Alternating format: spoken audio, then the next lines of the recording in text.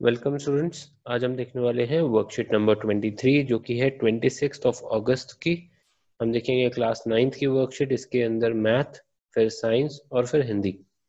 Worksheet start करने से पहले हम आपको बताना चाहते हैं कि वर्कशीट की सारी की सारी इन्फॉर्मेशन ध्यान से सुने, सारे के सारे कॉन्सेप्ट अच्छे से समझें, और इसमें जो हमने आंसर्स दे रखे हैं। वो एक सैंपल आंसर है जिसको आप पढ़ के, समझ के अपने वर्ड्स में खुद लिखें ताकि आपको अच्छे से समझ में आए और आप एग्ज़ाम के लिए प्रिपेयर हो सकें। आइए चलते हैं इसी बात से। वर्कशीट की तरफ़, मैथ की वर्कशीट में हम जो कॉन्सेप्ट है वर्टिकली ऑपोजिट की जो थ्योरम है अभी हम प्रूव करके देखेंगे। वर्टिकली ऑपोजिट एंगल की, उसके बेसिस पे एक एग्ज़ाम्पल है। ये दो क्वेश्चन है।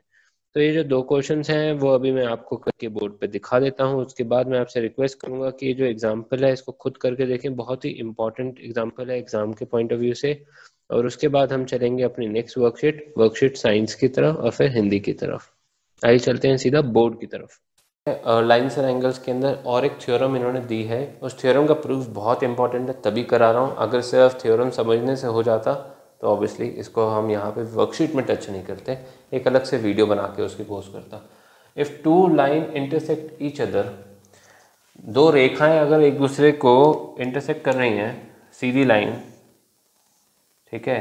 तो हम इस तरीके से एक सीधी लाइन हम यहाँ पे दो रेखाएँ हम बना देते हैं। Two lines intersect each other then vertically opposite angles are equal तो ये जो सामने वाले जो एंगल्स हैं, वो इक्वल होने चाहिए, ये प्रूव करना है। तो हम इसको नाम दे देते हैं ए बी और यहाँ पे दे देते हैं सी और डी ठीक है? देखो वर्कशीट में लेबलिंग अलग तरीके से करी जा सकती है बट आप चिंता ना करें, आपकी मर्ज़ी है। आप पी क्यू आर एस डाल दो, कोई दिक्कत थोड़ी ना उसमें। तो ये वाला जो पॉइंट है, उसको मैं ओ मार्क कर देता हूँ। अब यहाँ पे मैं नंबर डाल देता हूँ वन टू थ्री और फोर अब हमें प्रूव क्या करना है? देखो गिवन टू प्रूफ हमें लिखना होता है। तो कैसे लिखते हैं, वो देख लेते हैं। सबसे पहले लिखते हैं गिवन मतलब क्या क्या दे रखा है। A B and C O D are lines intersecting at point O ठीक है, बहुत ही सिंपल सी भाषा में हमने बता दिया, ये लाइन ये लाइन दे रखी है और ओ से पास कर रही है वो। तो हमें टू प्रूफ क्या करना है?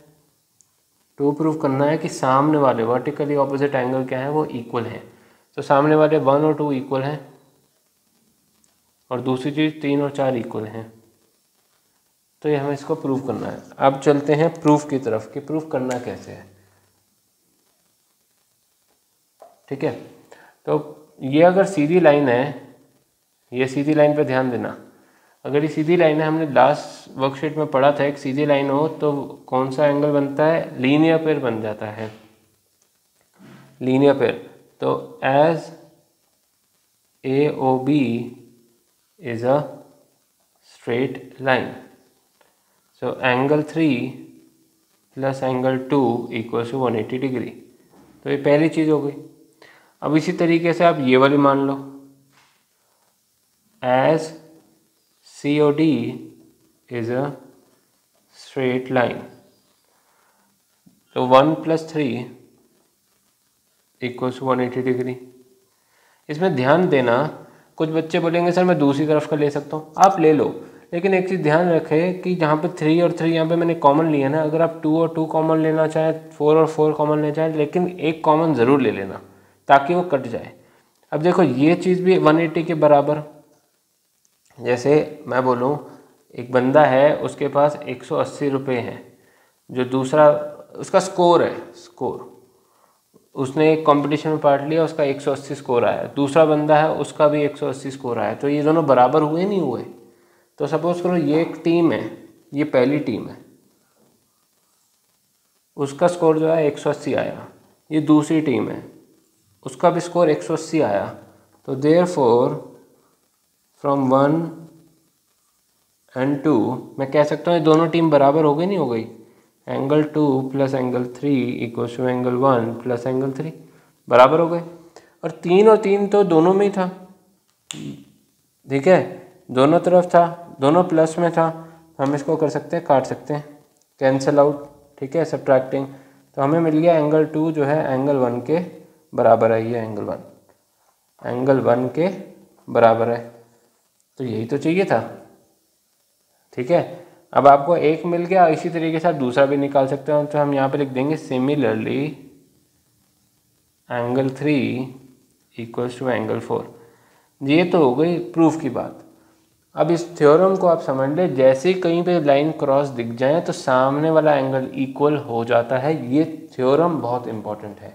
आगे चलते हैं क्वेश्चंस की तरफ़। आइए चलते हैं, हमारा क्वेश्चन नंबर वन है। उसमें दे रखा है, ये वाला figure angle P O Y ninety degree है। ये वाला जो एंगल है, वो नब्बे है। ए इस टू बी जो रेशियो है इन दोनों एंगल्स का, वो टू इस टू थ्री है। तो जब भी आपको कोई क्वेश्चन रेशियो में दे दिया जाए तो आप सीधी सीधी बात समझ लें कि वो दो टू एक्स और थ्री एक्स हो जाएगा। तो मैं यहाँ पे लिख सकता हूँ therefore A equals to x और B equals to three x ऐसा क्यों? फिर दोबारा समझाते तो टू इस टू थ्री का मतलब होता है ए को दो मिला अगर ए को दो मिला तो बी को तीन। अगर ए को चार तो बी को छः तो इसका मतलब क्या है? दो से मल्टीप्लाई कर रहे हैं दोनों तरफ़, कुछ भी होगा तो दोनों तरफ़ होगा मल्टीप्लाई तो यहाँ पर अगर छः मिलेगा तो यहाँ पे कितना मिल जाएगा? नौ। तो इसका मतलब इसको गुणा करा जा रहा है किसी एक नंबर से एक्स और इसको भी गुणा करा जा रहा है एक नंबर से एक्स तो यहाँ पर टू एक्स और थ्री एक्स आ जाता है। तो कभी भी रेशियो मिल जाए तो आपको उसको एक्स में मतलब किसी वेरिएबल में आपको उसको लिखना होता है, क्योंकि उसकी एग्जैक्ट वैल्यू नहीं पता। तो ये हमने यहाँ पे लिख दी, ये हम सॉल्यूशन में। तो ए और बी हमारा 2x 3x आ गया, मांगा उन्होंने सी है, ठीक है सी मांगा हुआ है। पहले यहाँ पे अगर ये लाइन पूरी 90 डिग्री है, ये सीधी लाइन दिखाई दे रही है? ये सीधी लाइन ठीक है? तो सीधी लाइन तो आपको पता है कि 180 डिग्री बनाती है। अगर ये हिस्सा 90 हो गया तो ये हिस्सा भी तो 90 हो गया। नब्बे नब्बे, एक सौ अस्सी। तो उसी तरीके से मैं कह सकता हूँ ए प्लस बी जो है वो 90 डिग्री है। ठीक है? दे रखा है उन्होंने। ए कितना? टू एक्स बी कितना? Three x equals to ninety. ये आया five x equal to ninety और x equal to ninety upon पाँच। तो नाइन्टी अपॉन पाँच कितना हो गया? अट्ठारह डिग्री। तो अठारह डिग्री एक्स की वैल्यू आ गई। अब उन्होंने सी मांगा था। सी पे ध्यान दें। तो सी जो है वो इस सीधी लाइन पे है, ऐसी सीधी लाइन पे। एम एन वाली जो सीधी लाइन है वो। और यहाँ से एक लाइन जा रही है ऐसे।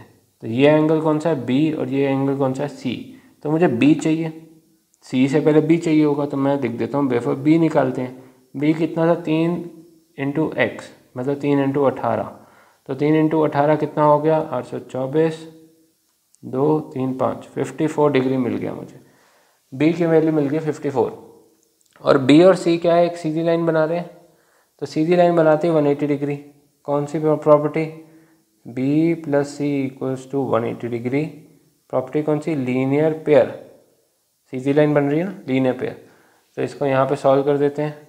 बी की वैल्यू कितनी? Fifty four fifty four plus C equals to one eighty C equals to one eighty minus fifty four so C की वैल्यू कितनी हो गई? साठ हो जाती है, एक सौ बीस वन ट्वेंटी सिक्स डिग्री। तो ये आपका पहला आंसर हो गया। लेते हैं, क्वेश्चन नंबर टू तो बहुत ही आसान है, ये आपने अभी देख लिया है, यहाँ पे वर्टिकली ऑपोजिट एंगल से वी बन रहा है यहाँ पर। तो आपने देखा होगा, ये सामने वाला एंगल बराबर हो जाएगा, पचास और वाई हम लिख देंगे वाई इक्वल्स टू पचास वर्टिकली ऑपोजिट एंगल प्रॉपर्टी पूरा फॉर्म फुल फॉर्म लिखें। और यहाँ पर ये लाइन सीधी बन रही है, ये लाइन सीधी और y और z आप निकाल सकते हैं, y plus Z equals to 180 degree ये कितना आ गया? लीनियर पेयर y की वैल्यू कितनी? पचास। पचास plus Z equals to one eighty degree z equals to one eighty minus पचास तो z की वैल्यू कितनी आ गई? पाँच एक सौ तीस। जी बहुत ही सिंपल सा क्वेश्चन था। बहुत ही कम वन या टू मार्क्स का आ जाता है। अगर कोई डाउट हो तो आप कमेंट सेक्शन में स्पेसिफिकली बताएँ क्या डाउट है। हम उसके ऊपर बनाने की कोशिश करेंगे वीडियो और अगर पसंद आई तो प्लीज़ लाइक करें सब्सक्राइब करें चैनल को बेल आइकन का बटन ज़रूर दबाएँ ताकि आपको नोटिफिकेशन मिल सके। अभी चलते हैं नेक्स्ट वर्कशीट की तरफ़। अब हम आ चुके हैं वर्कशीट जो है साइंस की। साइंस के अंदर जो हम टॉपिक पढ़ रहे हैं, वो है फंडामेंटल यूनिट ऑफ़ लाइफ उसके अंदर जो हमारा सब टॉपिक है, वो है एंडोप्लाज्मिक रेटिकुलम इसके बारे में हम डिटेल में पढ़ेंगे, ये क्या है, ये कैसा दिखाई देता है सेल में और इसके सारे सारे functions how does endoplasmic reticulum looks like ये पहला चीज़ है what is its function in a cell इसके क्या काम है? तो हम ये दो चीज़ों के बारे में बात करने वाले हैं। एंडोप्लाज्मिक रेटिकुलम जिसको हम बोलते हैं E R is large network of membrane bound tubes तो बेसिकली वो ट्यूब्स हैं। तो आपने देखा होगा, यहाँ पे पिछली बार हमने सेल दिखाया था। सेल के अंदर यहाँ पे ऐसी ट्यूब जैसा स्ट्रक्चर था। ये जितना भी यहाँ पे नीला नीला आपको दिखाई दे रहा है, ये है एंडोप्लाज्मिक रेटिकुलम जिसको होता है large network of membrane bound tube तो ट्यूब जैसा स्ट्रक्चर होता है। इसको दो टाइप में बांटा जाता है बेसिकली रफ एंडोप्लाज्मिक रेटिकुलम और एक smooth endoplasmic reticulum so rough क्या होता है और स्मूथ क्या होता है, आइए चलते हैं, उसको देख लेते हैं। सो रफ एंडोप्लाज्मिक रेटिकुलम होता है रफ सरफेस होता है इसका, जैसे कि उन्होंने बताया है। क्यों होता है इसका रफ सरफेस क्योंकि इसका जो पार्टिकल्स होते हैं राइबोसोम्स के, वो इसके साथ अटैच्ड होते हैं। और राइबोसोम्स क्या करते हैं? Ribosomes are manufacturing site of protein in cell so basically ribosomes क्या करते हैं? प्रोटीन uh, बनाते हैं सेल के अंदर। R E R rough endoplasmic reticulum membrane is connected with outer nuclear membrane तो ये जाके न्यूक्लियर मेम्ब्रेन से देख रहे हैं यहाँ पे कनेक्टेड है। सो so, इस तरीके से कनेक्टेड होता है। We know that all necessary function for the synthesis of protein are present in the nucleus on DNA DNA जो है वो न्यूक्लियस में प्रेजेंट होता है। ये हम पहले ही वर्कशीट में पढ़ चुके हैं। Whenever any part any type of protein is required by the cell these information are carried out by R to ribosomes तो अगर सेल को किसी भी टाइप का प्रोटीन चाहिए होता है तो वो किसको बता देता है? राइबोसोम्स को बता देता है। Which manufacture the required protein on the basis of such information for the cell. These proteins are sent to various part uh, in the cell by RER. तो जैसे हमारी बॉडी में एक्टिव बॉडी में जो हमारे ब्लड वेसल्स होते हैं veins होती हैं नाड़ी जिसे हम कहते हैं उसके थ्रू पूरी बॉडी के अंदर जो ब्लड फैलता है जाता है सारे न्यूट्रिएंट्स लेके उसी तरीके से R E R rough endoplasmic reticulum पूरी सेल में पूरे के पूरे सेल में राइबोसोम्स द्वारा जो प्रोटीन बनाया जाता है, वो सप्लाई करता है। इसलिए उसका जो स्ट्रक्चर है, वो ट्यूब लाइक है। आपने देख लिया यहाँ पर इमेज में। अब देख लेते हैं स्मूथ एंडोप्लाज्मिक रेटिकुलम क्या है। Membrane does not have ribosomes तो ये सबसे बेसिक इसका डिफरेंस है। रफ वाले में राइबोसोम्स था और स्मूथ वाले में राइबोसोम्स नहीं है। On it seems smoother in appearance S C R produce fat and lipid molecule so ये क्या काम करता है? फैट और लिपिड मॉलिक्यूल प्रोड्यूस करता है। और रफ वाला क्या प्रोड्यूस करता था? प्रोटीन प्रोड्यूस करता था। ये ध्यान रखना that are important for cell functions. Some protein and lipid molecule help in building the cell membrane during cell division. So, ये जो काम है एस का, ये कहाँ पे काम आता है? जब सेल डिवाइड हो रहा होता है, वहाँ पर इसको जो चाहिए होता है some protein and lipid molecule help in building the cell membrane during cell division जब डिवाइड हो रहा था तो सेल मेम्ब्रेन जब बनती है, नई मेम्ब्रेन जो बनती है, उसमें प्रोटीन और लिपिड मॉलिक्यूल काम आता है। इस प्रोसेस को, किस प्रोसेस को? इस डिवीज़न और यहाँ पे लिपिड मॉलिक्यूल की जो प्रोसेस है, इस प्रोसेस को कहते हैं मेम्ब्रेन बायोजिनिस तो ये इसके बारे में भी क्वेश्चन पूछा गया अभी हम बात करेंगे। The production of membrane is derived by endoplasmic reticulum so ये तो हो गई आपकी वर्कशीट की कुछ डिस्कशन आगे इन्होंने कुछ फैक्ट्स भी दे रखे हैं endoplasmic reticulum also provides surface for certain biochemical activities in cell in the liver cell of vertebrates vertebrates क्या होते हैं जो जिनकी बैकबोन होती है जैसे human being SCR play a crucial role in detoxifying many poisons and drugs.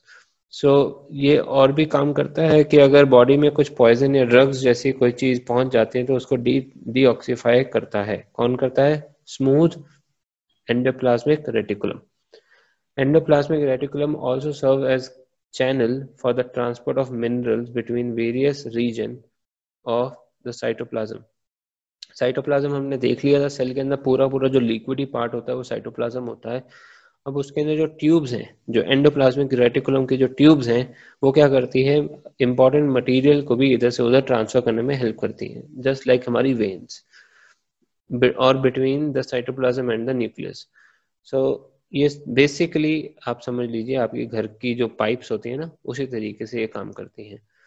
Endoplasmic reticulum form a network system in the sense तो उम्मीद करता हूँ एंडोप्लाज्मिक रेटिकुलम के बारे में समझ में आ गया होगा कि अल्टीमेटली एक तरीके से ट्यूब का काम है।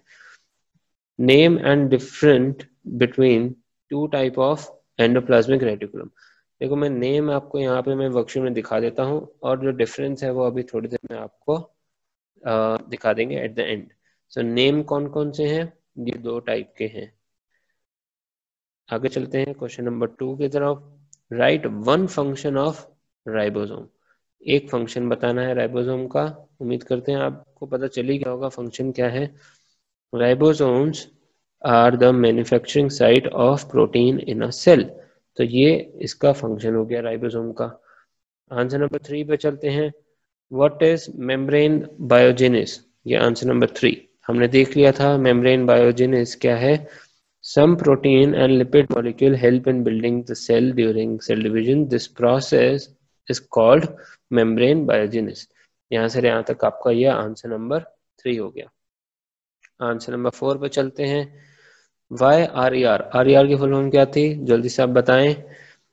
Membrane is rough in nature rough क्यों होती है? हमने बहुत बार बात कर ली, अब आपको पता चल जाना चाहिए। रफ इसलिए होती है क्योंकि उसके आसपास राइबोसोम्स अटैच्ड होता है। R E R rough endoplasmic reticulum has rough surface in appearance because it has small particles called ribosomes attached to it. तो बस ये तीन लाइनों का आपको यहाँ पे आंसर लिखना है। तो आइए चलते हैं। अब आंसर नंबर वन दिखा देते हैं आपको। सो आंसर नंबर वन के अंदर हमने जो डिफ्रेंशिएट देखना था, वो था रफ और स्मूथ एंडोप्लाज्मिक रेटिकुलम का। सब, सबसे बेसिक है इट पोजेसेस राइबोसोम्स इसके पास राइबोसोम्स होते हैं डज नॉट हैव राइबोसोम्स इसका बेसिक डिफरेंस हो गया। ठीक है? दूसरा, इसके अंदर और भी हमने एग्ज़ाम दे रखे हैं इसके अंदर डिफरेंस ताकि आपके एग्ज़ाम के पॉइंट ऑफ़ व्यू से ये इम्पोर्टेंट टॉपिक हो जाए।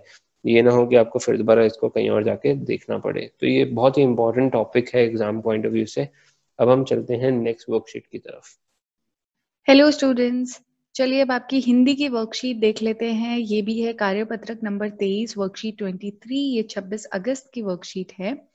तो ये जो आपकी कक्षा नौ की वर्कशीट है, ये रसखान के जो सवैये हम कर रहे थे, ये उसी की कंटिन्यूएशन में है वर्कशीट तो रसखान जी का एक और सवैया यहाँ पर दिया गया है, जल्दी से वो देख लेते हैं। तो प्रस्तुत सवैये में रसखान जी ने गोपियों का श्री कृष्ण के प्रति प्रेम व्यक्त किया है कि गोपियाँ श्री कृष्ण जी को कितना प्रेम करती हैं, कितना प्यार करती हैं, ये उन्होंने रसखान जी ने यहाँ पर दिखाया है, जिसमें गोपियाँ कृष्ण की प्रत्येक वस्तु से बहुत प्यार करती हैं। तो वो कृष्ण जी की जितनी भी चीज़ें हैं, उनसे बहुत लगाव रखती हैं और उन्हीं के द्वारा जो है रसखान जी ने उनका प्रेम दर्शाया है। तो मैं जल्दी से इसको यहाँ पर पढ़ देती हूँ। मोर पखा सिर ऊपर राखी हो गुंज की माला गरे पहिरोंगी।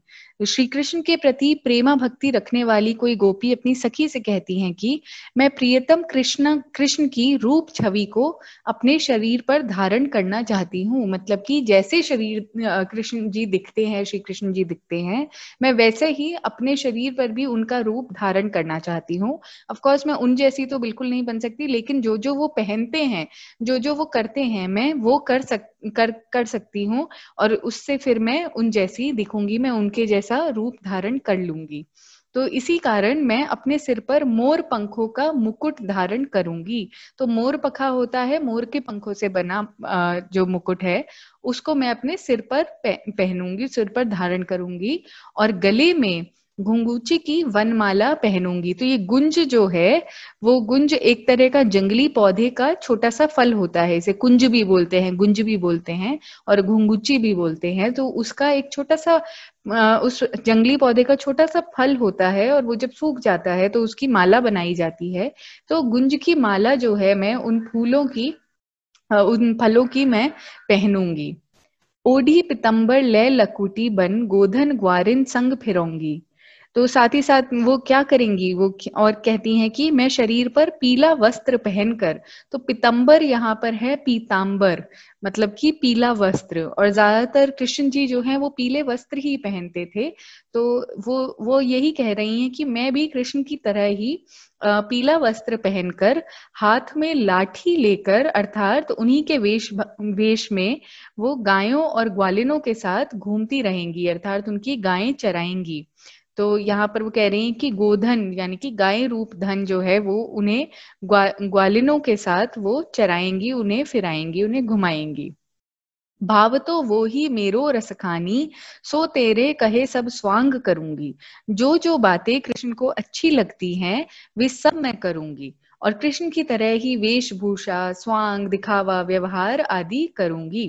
तो वो कहती हैं कि जो जो कृष्ण जी करते हैं, जैसे वो कपड़े पहनते हैं, जैसा वो स्वांग रचते हैं जैसे ही वो दिखावा करते हैं, जैसा ही वो व्यवहार करते हैं, वो सब मैं करूँगी। स्वांग होता स्वांग का मतलब होता है कोई रूप धारण करना या नाटक करना। तो कृष्ण जी क्या करते थे, वो अलग अलग तरह के कपड़े पहन के अलग अलग वेशभूषा पहनकर स्वांग रचते थे, रूप धारण करते थे और इससे सभी जो है बहुत ही मोहित हो जाते थे, बहुत ही खुश हो जाते थे। तो वो कह रही है, मैं भी ऐसे ही कृष्ण की तरह रचूँगी अलग अलग वेशभूषा पहनूँगी, जैसे वो व्यवहार करते थे, मैं वैसे ही सब करूँगी। या मुरली मुरली धर की अधरान अधरी अधरा न धरूँगी।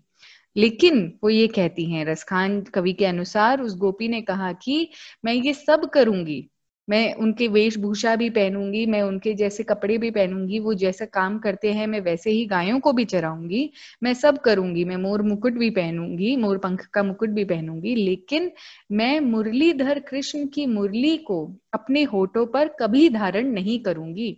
तो कृष्ण जी को मुरलीधर भी कहा जाता था, क्योंकि वो मुरली बजाते हुए हर समय नज़र आते थे, उनके हाथ में हमेशा मुरली रहती थी। तो इसलिए उन्हें मुरलीधर भी कहा गया है। तो वो ये कह रही हैं गोपी कि मैं कृष्ण की तरह मुरली लेकिन अपने होठों पर कभी भी नहीं रखूँगी। तो ये अधर जो है, अधरा यहाँ लिखा है, अधर का मतलब होता है होंठ। तो उनको कभी भी मैं धारण नहीं करूँगी, कभी उस मुरली को नहीं अपने होठों पर लगाऊँगी। क्यों? क्योंकि मुरली जो है, वो उनके प्रिय कृष्ण को बहुत ही ज़्यादा पसंद है। मुरली को होठों पर रखने का अधिकार भी श्री कृष्ण का ही है और वे ही इससे मधुर तान सुना सकते हैं। तो वो कह रही है, मैं सब कर लूँगी, लेकिन मुरली जैसी जो चीज़ है, उनको, उसको होठों पर रखने का अधिकार सिर्फ़ श्री कृष्ण का ही है, और वो ही उससे जो है, बहुत ही मधुर संगीत बजा सकते हैं, और वो उनसे बहुत ज़्यादा प्रिय है मुरली उनको। इसीलिए मैं उसे नहीं छूँगी उसे अपने होठों से नहीं लगाऊँगी, क्योंकि वो जो कृष्ण जी कर सकते हैं, वो कोई और नहीं कर सकता, और मैं तो बिल्कुल ही नहीं कर सकती, ऐसा वो गोपी कहती हैं।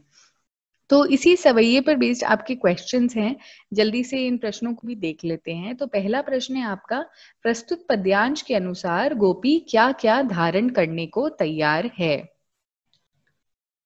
तो पहला उत्तर आपका यही है कि प्रस्तुत पद्यांश के अनुसार गोपी श्री कृष्ण की भांति मोर पंखों से बना हुआ मुकुट, गले में कुंज की माला और उनके समान पीले वस्त्र धारण कर अपने हाथों में लाठी लेकर वन में ग्वालों के संग गायों को चारा देने को तैयार है। आगे चलते हैं प्रश्न दो पर। प्रश्न दो आपका कहता है, गोपी मुरली को अपने होठों पर क्यों नहीं रखना चाहती? तो प्रश्न दो का उत्तर यही है, जैसा मैंने आपको डिस्क्रिप्शन में समझाया कि गोपी मुरली को अपने होठों पर इसलिए नहीं रखना चाहती क्योंकि मुरली श्री कृष्ण को बहुत प्रिय है। मुरली को होठों पर रखने का अधिकार केवल श्री कृष्ण का ही है और वो ही उससे मधुर तान बजा सकते हैं। चलते हैं आपके प्रश्न तीन पर। तो प्रश्न तीन आपका कहता है कि जिस पंक्ति में कवि रसखान जी का नाम आया है, उस पंक्ति को लिखिए। तो यहाँ पर मैं आपको सवैया दिखा देती हूँ। जैसे ही आप इस सवैये को देखते हैं तो आपको दिख जाएगा कि रसखान जी का नाम कहाँ आया है। जी हाँ ये जो तीसरी पंक्ति है भाव तो वो ही मेरो रसखानी, सो तेरे कहे सब स्वांग करूँगी। तो यहाँ रसखानी जो है, वो रसखान जी ने ब्रज भाषा में इसको अपने नाम को लिखा है तो ये रसखान जी का नाम इस पंक्ति में आया है। तो यही आपका उत्तर तीन है। चलते हैं अब आपके प्रश्न चार पर। तो प्रश्न चार आपका कहता है, प्रस्तुत पद तथा शब्दार्थ में से अपनी पसंद के किन्हीं पाँच शब्दों का प्रयोग कर पाँच वाक्य लिखिए। तो यहाँ पर जो पद है आपको दे रखा है, साथ ही साथ आपको यहाँ शब्दार्थ भी दे रखे हैं। यहाँ पर अगर आप देखेंगे, मोर, पखा, रखूँगी, गुंज, गरें तो इस तरह से आपको कई तरह के शब्द और उनके शब्दार्थ भी दिए हुए हैं। साथ ही इस पद्यांश में से भी कोई भी आप पाँच शब्द चुन सकते हैं और फिर आप उन, उनसे पाँच वाक्य बनाएँगे मतलब हर शब्द से एक एक वाक्य बनाएँगे। तो यहाँ पर हमने जो चुने हैं शब्द, उनको मैं आपको जल्दी से दिखा देती हूँ। आप चाहें तो ज़रूर ही आप अपनी पसंद के जो हैं और शब्द यहाँ पर वो आप लिख सकते हैं। आप चाहें तो अपनी पसंद के शब्दों से वाक्य बना सकते हैं। तो सबसे पहला जो हमने यहाँ पर बनाया है, वो हमने मुरलीधर से बनाया है, उसके बाद हमने बनाया है पीताम्बर से बनाया है, फिर हमने अधर से बनाया, अधर मतलब होंठ, उससे बनाया है, फिर हमने स्वांग से बनाया है वाक्य यहाँ पर, और पांचवा हमने बनाया है वाक्य मोर पखा से मतलब कि मोर के पंखों का मुकुट। तो आप चाहें तो आप अपनी पसंद के जो शब्द हैं यहाँ से चुन सकते हैं और उनसे भी वाक्य बना सकते हैं। अगर आपको इन वाक्यों में कोई भी डाउट है या कोई वाक्य समझ नहीं आया है तो आप कमेंट सेक्शन में बिल्कुल पूछ सकते हैं हमसे। अगर कोई और भी आप वाक्य बनाना चाहते हैं तो आप उसमें हेल्प चाहते हैं तो आप वो भी मांग सकते हैं। ध्यान रखिएगा कि ये जो हम आंसर्स आपको बता रहे हैं, ये सैंपल आंसर्स हैं कि आपको समझाने के लिए आप अपने आंसर्स खुद लिखिए और इससे थोड़ा आइडिया ले सकते हैं आप या फिर इन आंसर से आप क्रॉस चेक कर सकते हैं कि ये आंसर्स ठीक हैं कि नहीं है आपके आंसर्स और साथ ही आप अपनी टीचर से भी डिस्कस कर सकते हैं। इस चैनल को लाइक और सब्सक्राइब ज़रूर कीजिए और साथ ही साथ अच्छे से वीडियोस देखिए ताकि आप अच्छे से इनका जो कंटेंट है वो समझ पाए। Thank you